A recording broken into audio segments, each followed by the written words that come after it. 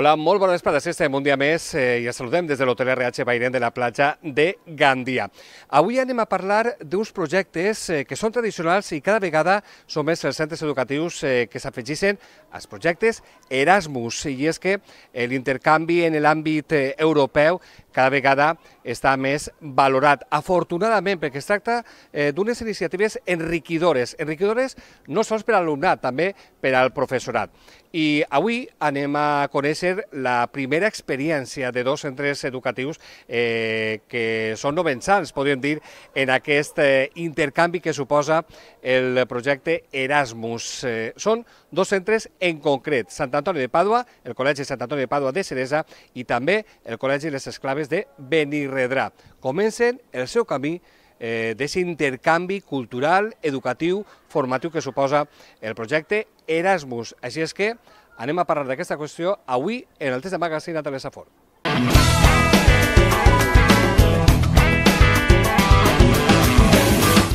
Entrem ja en matèria, ja saben, el Col·legi Esclaves de Benirredrà, però fem una primera parada al Col·legi Sant Antoni de Pàdua, de localitat de Xeresa.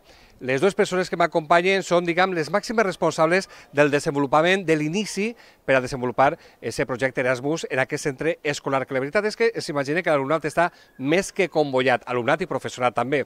Ens acompanya com a coordinadora dels programes Erasmus del Col·legi Sant Antoni de Padua de Ceresa, Anabel Beltrán. Anabel, bona vesprada. Bona vesprada. I també ens acompanya el director del centre, Toni Jiménez. Toni, bona vesprada. Hola, bona vesprada. Bueno, eh, deia que sou novensants i és que podríem dir, el titular és que el Col·legi Sant Antoni de Pàdua de Ceresa obri les portes a Europa. És important aquesta eh, internacionalització del, del col·legi, en aquest cas del, del vostre. Jo diria que és una qüestió, hauria de ser obligatòria no?, per a tots els escolars. Eh, en l'època en la que vivim, sí. És necessari obrir-se al món exterior. És a dir, no, ja no som una, una cosa aïllada, sinó que necessitem eixir i donar les oportunitats als alumnes. I aleshores el programa Erasmus el que te brinda és l'oportunitat de començar per Europa. -huh. Conèixer altres centres, altres realitats i així poder endur-te a casa les bones pràctiques que vas observant. Eh, ara anirem eh, parlant un poc d'aquest inici, però on comença, eh, de sonar 18 mesos eh, de, per a desenvolupar els diferents intercanvis, mobilitat que, que se diu en els projectes Erasmus, però mm, Toni, com a director, tu portes tres anys com a director, em comentaves, però hi ha uns quants anys, no?, més com a, com a, en el centre com a cap d'estudis i professor.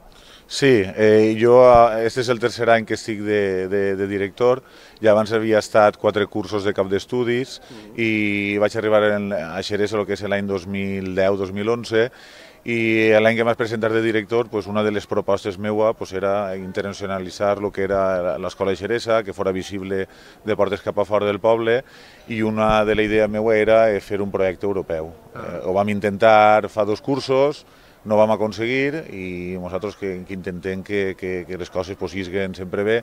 L'any passat ho tornarem a intentar i no ens donaren el projecte eh, que ens va costar fer eh, perquè no és una cosa fàcil. Anem... Ah, perquè ahir heu de rebre subvencions, que en el vostre cas és una subvenció que se diu a uns 20.600 euros, que suposa que és qüestió de, de gestions, de papeleo, sí, sí. per aconseguir aquesta subvenció i poder dur a terme, perquè estem parlant d'una despesa important. Sí, sí, és una despesa important perquè és un projecte que ve des del Ministeri d'Educació i Ciència, que és centralitzat que eh, després ho, ho gestionen les comunitats autònomes, però ve des, de, des del Ministeri. Aleshores, has de presentar molta paperassa, ho tens que especificar tot molt, eh, i no és una cosa fàcil, encara que parega. Nosaltres animem a tots els altres que ho facin, però que és una feina que es fa, sí. que es fa, que es fa, es fa llarga, ah. que, que costa molt d'aconseguir. Sí, però ja, ja ho ha aconseguit, sí. ara comença a arrencar, eh, i en aquest cas, Anabel, com a coordinador dels programes eh, europeus, en aquest cas, mm, 18 mesos per a desenvolupar tota aquesta, aquesta qüestió,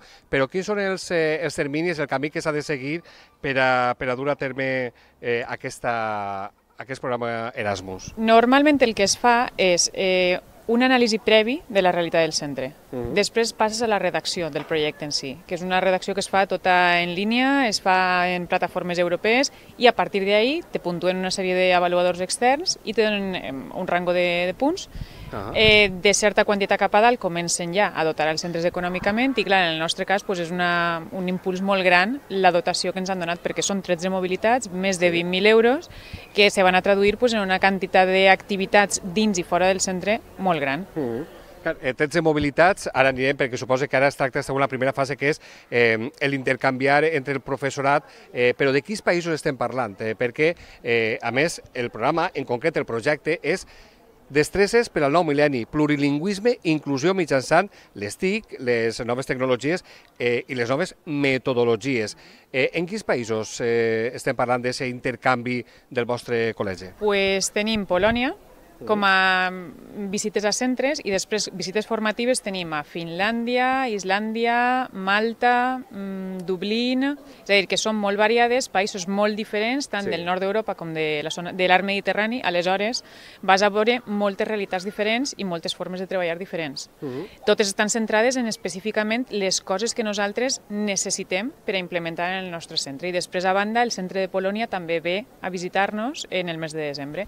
I a partir d'ahir s'estableix línies de treball. Sí, exacte. A partir d'ahir ja comences a través de twinning, a través d'intercanvis ja en els cursos vinents en, en el model K2, que se diu, sí. que és en el que tu ja pots viatjar inclús amb els alumnes de primària, mm. i entonces, clar, tot això ha de començar per aquestes línies bàsiques de treball que anem a encetar ara. Ah. Eh, però hi ha hagut uns primers contactes, uns primers moviments, més intents podríem dir, eh, perquè tu, Toni, eh, has estat a, a Islàndia, no? No, no, nosaltres tenim la primera mobilitat... Serà la primera serà a Islàndia. Sí, sí, ara el mes de novembre se n'anem l'altre company, Joan Fer d'Educació Física i jo, a un curs d'educació de, física en el que va pues, mestres d'educació física de, de tota Europa, ens reunim allí, veurem, veurem diferents metodologies, com es treballa en cada país els assistents que anem, l'educació física, i a partir d'ahir pues, anem aportant entre uns i altres idees i després això nosaltres intentar aplicar-ho a, a l'escola de Xeresa. Uh -huh. La primera visita a Islàndia i després tu vas a Polònia. A Polònia també a finals de novembre i ahí sí que anem a visitar un centre, és en vivo i en directe. Uh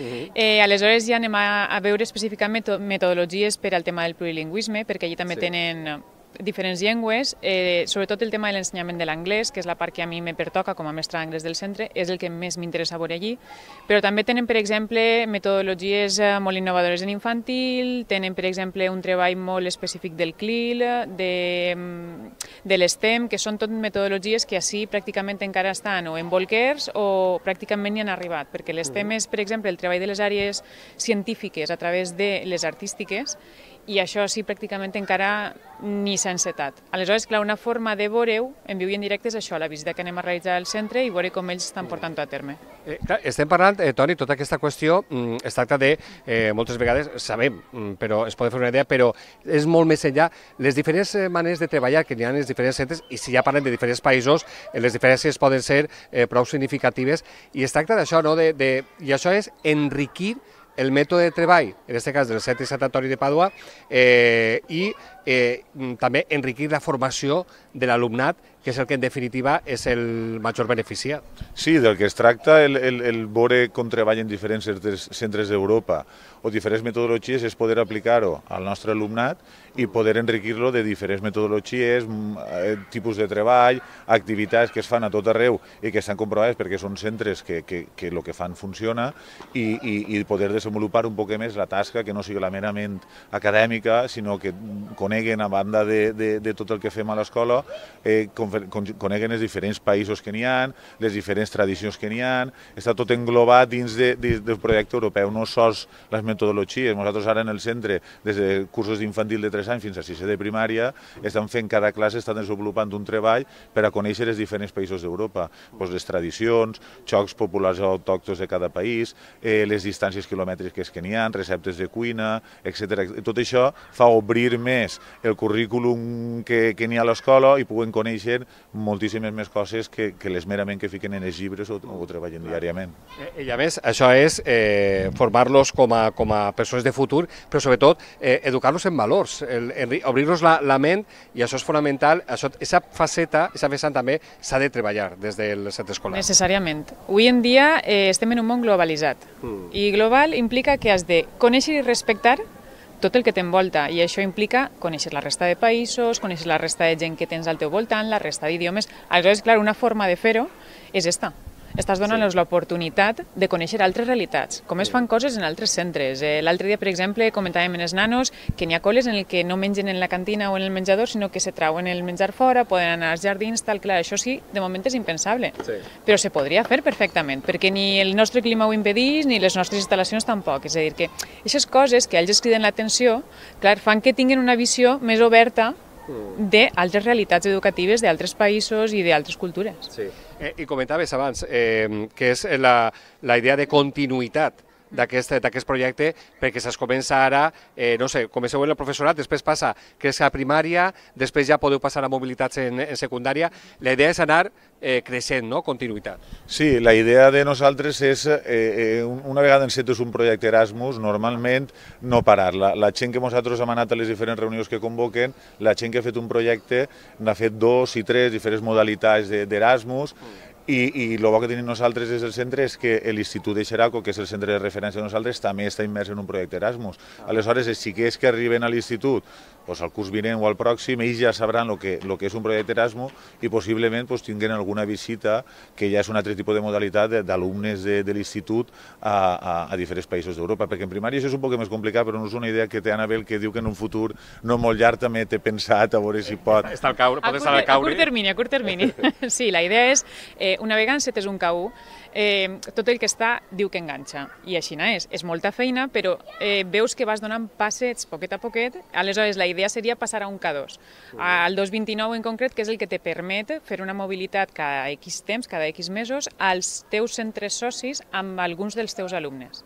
Aleshores, clar, això ja seria eh, el màxim al que pots aspirar en primària. El poder tu traure els alumnes a un país estranger durant una setmana a col·laborar amb altres alumnes de la mateixa edat, Sí. Aleshores, clar, això és la idea eh, a curt termini, és a dir, anem a començar a executar este i a preparar ja el següent amb els socis que ja tenim. Mm. Eh, ja per últim, Dònia, estem parlant de, de, de la, del benefici per a l'alumnat, però la, el professorat també té ser comboi, no? Això també és solucionant.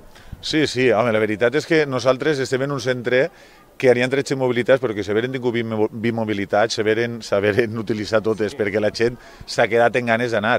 El que passa que, clar, al, de, al demanar eh, un projecte Erasmus, tu demanes un tipus de perfil, un tipus de cursos, en el que pues, la gent que va és la gent que, que realment eh, està, està adreçada a aquest perfil que demanem en un futur pues, intentarem obrir un poc més el ventall per a que tota la gent pugui participar, perquè de 20 mestres que enseguem en van 13, més o menys. Vull dir jo que, que la gent s'ha quedat en ganes de participar. I hi ha gent que diu, bueno, pues, si falla un m'agradaria anar també, perquè a banda d'anar a aprendre, pues, també vas a conèixer diferents països, veus com se treballa en diferents escoles, i tot això, pues, això t'enriqueix, perquè hi ha gent que així simplement fem cursos de formació que anem a visitar centres d'ací la zona i ja és positiu. Si és un país estranger en el que, en el que coneixes moltíssimes més coses, pues, també és una cosa que, que, que, que te fa comboi, entre cometes, i, i, i, i després pugues aplicar a, lo que és a, a la teva tasca docent diària.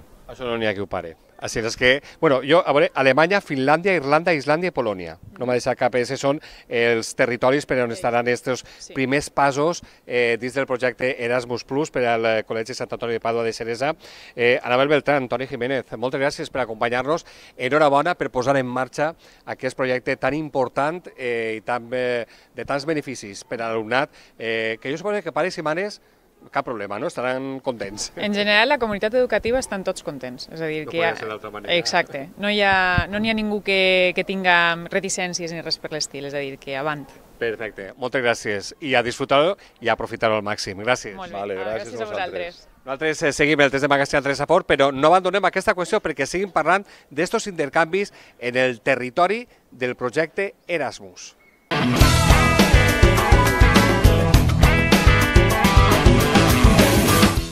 Seguim parlant eh, d'Erasmus i ja s'hi veuen els alumnes eh, que també eh, pues, han començat la seva experiència en el projecte Erasmus. En concret són alumnes del col·legi Les Esclaves, ells de Benirredrà. Ells han sigut els protagonistes els que, els que han realitzat eh, la primera mobilitat adreçada a l'alumnat. Han estat en Bèlgica i venen així perquè volen que ens conten quina ha estat aquesta experiència tan positiva. Però abans anem a introduir l'assumpte i parlem amb el professor del col·legi, que és el coordinador dels projectes Erasmus Plus del Col·legi Esclaves de Benirredrà. Jorge Moragues, bona vesprada. Hola, molt bona vesprada. Bueno, ara escoltarem als vostres eh, alumnes, eh, però eh, inici en aquesta experiència europea del projecte Erasmus, suposa que hi havia gana de començar este camí i un camí que és més que positiu, tant per alumnat, professorat, per a tota la comunitat eh, educativa, no? Sí, com bé dius, eh, l'equip directiu del centre, el claustre, el personal del centre estava convençut que això era una bona, una bona iniciativa, un bon projecte i que al final el que beneficia és als nostres alumnes. Per tant, pues, eh, ens vam decidir, vam crear una comissió de, de professors encarregats de redactar els projectes en els quals al final eh, hem aconseguit uh -huh. i la veritat és que ha suposat un esforç, però sabien que era un esforç necessari perquè el que volíem era transformar d'alguna manera el col·legi, introduint una sèrie de, de dinàmiques, de valors, de, de, de, al fi i al cap donar als alumnes una, una sèrie de capacitats i una sèrie d'habilitats que de vegades en classe i en l'aula ens, sí. ens costa. Clar, és obrir aquesta formació i també com a persones els aporta qüestions positives, no són l'alumnat, perquè el professorat també eh, anem a escoltar aquesta primera experiència, aquesta primera mobilitat de l'alumnat, però el professorat també eh, s'ha de formar per a dur a terme aquest projecte, no? Clar, un dels projectes està dirigit eh, exclusivament per als mestres, que el que faran és viatjar a diferents centres de, de tota Europa per a, per a aprendre, per a millorar en metodologies actives d'aprenentatge, sobretot també tractant de, de, de buscar que els alumnes amb més dificultats i amb més necessitats eh, s'acoplen i s'adapten d'una manera molt més, molt més efectiva. El segon projecte que tenim està més eh, dirigit als alumnes mm. i són ells que sí que són els protagonistes. Van acompanyats de mestres, però ells són els que hi viatgen i que ah. acompanyats de, dels mestres, però són quines, de quines edats estem parlant de l'alumnat? El projecte dels alumnes està entre alumnes de 10 i 12 anys. Uh -huh. eh, parlem de 5è, 6è i fins a primer de l'ESO. Clar, són edats que, que eh, s'empapen d'esta experiència, no? Clar, al principi sí que és veritat que teníem un poquet de, un poquet menús, no? Una, un poquet de, de dir, ai, a veure què tal, però... Sobretot la... pares i mares. Clar, clar, perquè sí que és de veres que pensaven que tal volta, pues, a lo millor tercer, quart de l'ESO, però clar, era un projecte que, que ens va vindre d'aquesta manera, ens van oferir participar i van dir, escolta, si està aquesta oportunitat, per què no? No anem a desaprofitar-la i ens van llançar i la veritat és que ha valgut la pena. Bueno, suposo que pares i mares sabran que, que els seus fills fills estan en bones mans. Sí, això també, anem a veure, els, els mestres anem en ells, mm. som dos mestres per a sis xiquets, la veritat és que estan, estan més, que, més que controlats i més que en ah. bones mans. Perquè parlem de mobilitats, eh, ara s'ho contaran, han estat en Bèlgica, però parlem de França, Bèlgica, Polònia, Itàlia, Regne Unit, Romania, i, eh, en Suècia, Irlanda, és a dir, que eh, varietat absoluta en àmbit sí. europeu. Sí, correcte eh, tant professors com alumnes, anem a tocar eh, una gran quantitat de, de països. Això és que en dona és, és una oportunitat d'obrir la ment, d'obrir eh, els nostres coneixements i al final créixer, créixer com a mestres, com a alumnes i la veritat és que estem, estem molt contents. Satisfets. Pues anem a, en el teu permís, no te vaig molt lluny perquè voler rematar amb tu, però anem a conèixer un poc l'experiència d'estos joves perquè ja he dit els seus noms, així estan Martina, Clàudia, Irene, Marta, Laia, Víctor, eh, que són els protagonistes d'aquesta primera mobilitat del Col·legi de les Esclaves de Benirredrà. Comencem per tu, que el és proper, Martina. Escolta, eh, a Bèlgica, primera, primer viatge fora d'Espanya, eh, i què tal, com, com va anar la cosa? Superbé. Mm -hmm. Era el primer viatge teu fora d'Espanya? De, no, no, no. Però els teus companys, o sigui, que ben acompanyades sí, estat, allà en Bèlgica, per tant, tornaries? Jo sí. bueno, en el teu cas, Clàudia, eh, compta'm, eh, com va anar? Perquè se'n vareu anar del 27 al 31 d'octubre, o sigui, fa, fa no res, suposa que encara teniu bons records i també la teva primera experiència fora d'Espanya? De, ja he, ja he anat fora d'Espanya, però és una experiència molt xula i que se la recomane a molta gent. Mm. O sigui, també repetiries si pogueres, no? Sí. Però n'hi ha que anar deixant lloc per als altres companys, no?, que vagin. Sí. Eh, bueno, I en el teu cas, Irene, conta'm, com ha anat l'experiència? Doncs jo crec que ha anat molt bé. A mi m'agrada molt l'experiència perquè fas molts amics, coneixes a molta gent i pots aprendre moltes coses d'altres persones. Clar. I a més, això d'estar de, de, en un altre col·legi eh, que, que és tot, tot completament diferent, en aquest cas Marta, un sistema d'estudis diferent, un col·legi diferent, eh, coneixes a gent nova, eh, és tot positiu, no? Sí. ¿Y tú te vas, eh, no sé, qué fet allí en, eh, en Bélgica? Pues hemos ido a muchísimos sitios, ah. mucho, muy, muy, muy guay. y pues también hemos conocido mucha gente de otros países, también hemos tenido la oportunidad de relacionarnos con muchísima gente, bueno, una pasada. A repetir. Claro, claro. bueno, i tot això gràcies al programa Erasmus Plus, eh, que també ha fet que Laia vagi també a Bèlgica en esta primera mobilitat. Laia, què? Satisfeta? Yo sí. Y cuéntame, ¿cómo te lo has pasado? ¿Es- eh, ¿Ha sido mejor de lo que, de lo que te habías imaginado? Eh, jo m'ho he passat superbé i sí, sí que ha sigut millor, de lo que imaginava. També repetiries si pogueres. Pues sí, perquè se m'ha fet molt curt. Molt curtet. Clar, han estat del 27 al 31 d'octubre. Bueno, ja veurem si la cosa continua, perquè això no ha fet més que, més que començar. Víctor, ¿satisfecho con esta experiencia? Sí, mucho. No solo por los sitios, sino también por la amabilidad que han tenido los niños con nosotros y también los eh, profesores de los otros países que nos han tratado muy bien. O sea, que todo perfecto como para repetir también en tu caso. Sí, obviamente. Pues nada, esperemos que sí. Eh, la veritat, el que esté contant són els sis primers alumnes que han fet aquesta primera mobilitat dins del projecte Erasmus i el que comentàvem, eh, Jorge, eh, estan més que satisfets. Diuen que volen repetir. Serà possible o està la cosa difícil? Anem a veure, la idea és donar, ojalà, ojalà pogueren repetir, ojalà haguem pogut, pogut portar a més alumnes, Sí. perquè és veritat que hem triat en aquesta primera mobilitat alumnes de primer de l'ESO, hem involucrat a 60 xiques que tenim en primera de l'ESO en el projecte, però únicament han pogut viatjar eh, 6. La idea és que els pròxims, les pròximes mobilitats eh, a tocar a tres classes per a que vaig arribant al major nombre de- d'alumnes possible. Tot això també també perquè estem parlant de subvencions eh, públiques eh, que t'has d'adaptar a aquesta subvenció i que siga el major nombre possible de- d'alumnes que, es, que es beneficien no? i professorat. Clar, l'objectiu sempre és això, donar l'oportunitat a quantes més persones millor. L'impacte, la Unió Europea el que vol és que això impacte en el major nombre de persones, i no sols ja dins del col·le, sinó ja fora. Obrir les portes a que la gent de fora conega est- aquests programes, veig, eh, observen les seues, els seues avantatges i, i d'alguna manera també es disfruten. I durant molt de temps es, faran, es desenvoluparan aquestes mobilitats i la formació del professorat, perquè el que pertoca a professorat i el que pertoca a alumnat es fan al mateix temps, període de temps, però durant molt de temps. Eh, seran es durant els dos pròxims cursos. Uh -huh. És el curs de 9-20 i el 20-21. És la durada de, que tindran aquests dos projectes, tant el d'alumnes com el de professors. Mm. Eh, clar, Jorge, ja per anar acabant aquesta xerradeta, estem parlant del projecte Erasmus, eh, que anys enrere això suposava eh, el període universitari. Eh, és tot un luxe, no?, poder que, que jovens de secundària ja estiguen implicats en aquest projecte europeu. Efectivament, jo quan era jove vaig acabar la carrera, vaig fer el meu projecte final de carrera en Alemanya durant un any, com bé dius tu, quan estava a la universitat. Eh, que ara alumnes d'aquesta edat, 10, 12 anys, puguen gaudir d'aquesta experiència, està clar que són períodes més curts, sí. però vamos, per a mi és algo pues, eh, increïble i impensable i la veritat és que jo el dia de demà quan la meva xiqueta estigui en el col·le m'encantaria sí. que participara també en aquests, en Clar aquests sí. programes. Eh, bueno, volem posar ja el punt final i volem, arrimeu-se si vosaltres, eh, perquè volem acabar en esta foto de, de família eh, que ens han vingut, ens han visitat estos, estos joves, estos sis joves alumnes del Col·legi de les Esclaves de Benirredrà, amb el seu professor responsable coordinador del projecte Erasmus+, Plus, eh, i posem el punt final amb aquesta foto de família.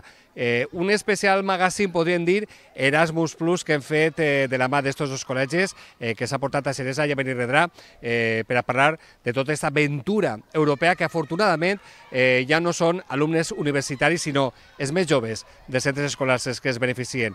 Posem el punt i final. Gràcies per la seva atenció i ja saben, si tenen ganes de més, es troben així el magazine de Telesafor.